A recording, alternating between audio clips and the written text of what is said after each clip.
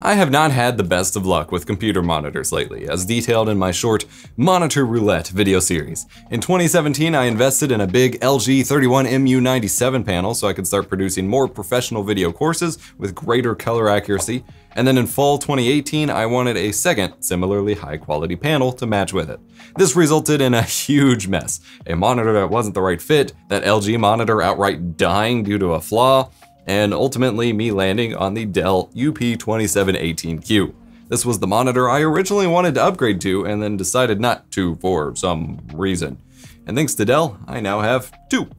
After a few months working with these bad boys, it's time for a review. But spoiler alert, this was the first professional HDR10 certified 4K monitor, and it's still the best. Seriously.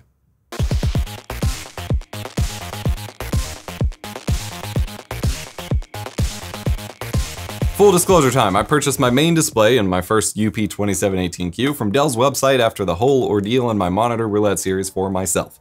Following a month or two of using this monitor and realizing there was no real hope for reviving my other production panel that it was supposed to pair with it, I reached out to Dell and arranged for a review sample of a second one so I could have matching sets for color grading, dual monitor editing, and review.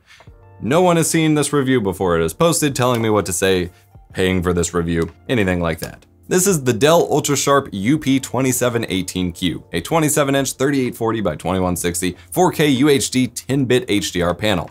This thing is a beast. Physically, it is quite large. These are thick boy monitors, not paper-thin bezel-less ornaments. I truly don't even mind monitor bezels like this. They keep, they're nice and they keep things framed properly, but the monitors are thick and they put out a lot of heat, and they are quite heavy on my dual monitor arm on my desk here at 13.18 pounds each.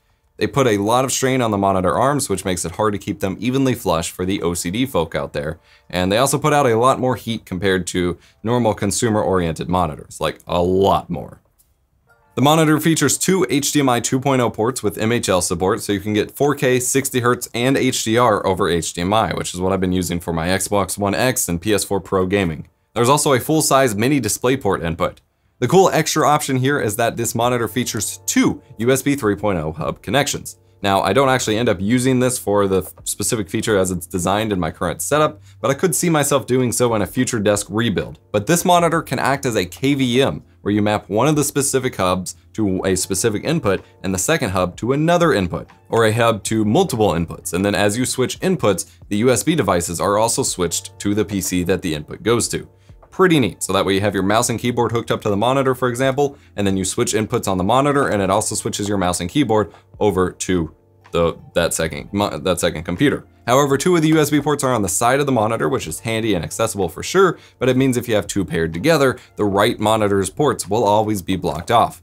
I would have also loved to see an integrated USB 3 card reader on the side for us video people as well. The panel itself is IPS, which generally means it's great for video production, photo editing, color grading, and so on. And again, it is at 4K 60 Hz. It has a typical brightness of 400 nits with a peak brightness of 1000 nits, which makes it perfect for that HDR use.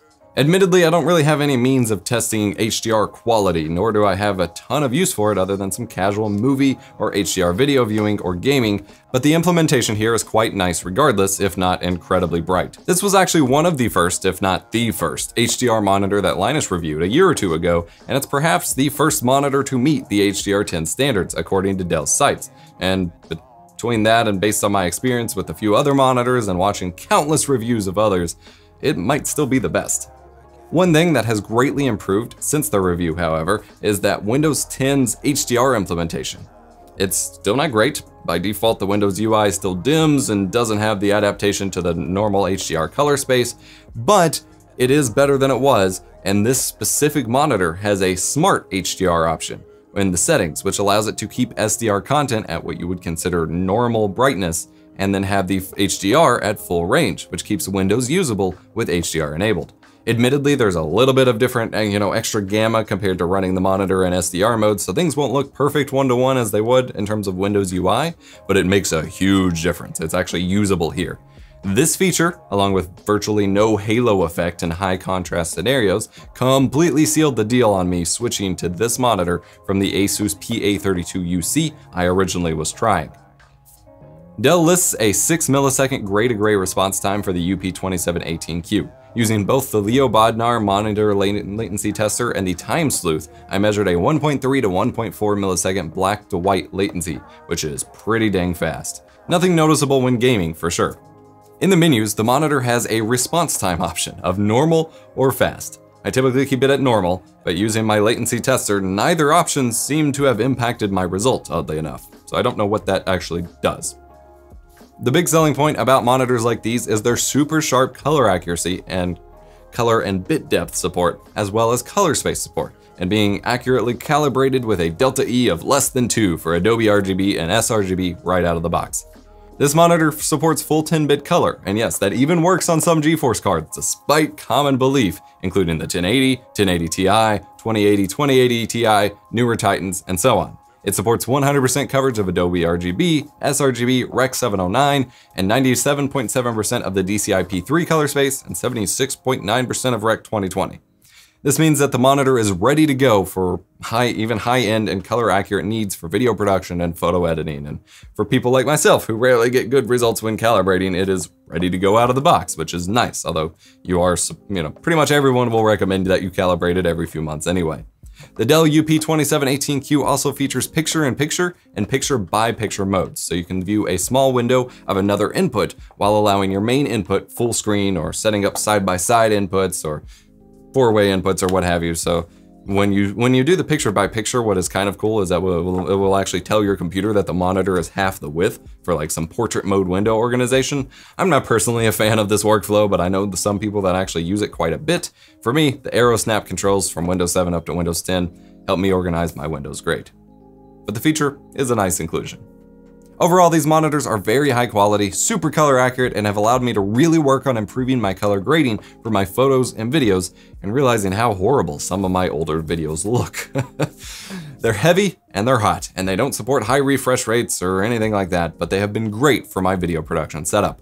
I was also impressed at just how many issues I had with the PA32UC that aren't present on these panels. None of that weird over sharpening that I couldn't get rid of on the Asus, no haloing from poor local dimming support, and then no vignetting from being too large since these are 27 inch instead of 31 inch. Since my desk is only 2 feet deep, I'm always less than 2 feet from my monitors, and the 32 inch was just too large to see without it being curved to see the light from all corners at once, whereas 27 inch seems to be the perfect 4K, 4K panel size for me. Plus, the smart HDR functionality is really freaking cool. I'm still finding my way through the monitor space, but I'm happy to be done with the hassle of and mess of finding out, you know, the right production monitors for me from the beginning of the year, and I'm incredibly grateful to Dell for hooking me up with the second one so I can have my first ever pair of matching monitors that I've ever owned. I only reached out after I was confident with my purchase in the first one, and I'm definitely confident in recommending them to other prosumers and enthusiasts looking to set up their monitor gains for their video production needs. Affiliate product links will be in the description down below as always. Hit the like button if you enjoyed. Uh, maybe consider checking out my other monitor videos on the channel or that monitor roulette series or maybe this cool Nintendo Switch setup video. I'm EposVox here to make tech easier and more fun and I hope to see you in a future video or past videos or something. See ya.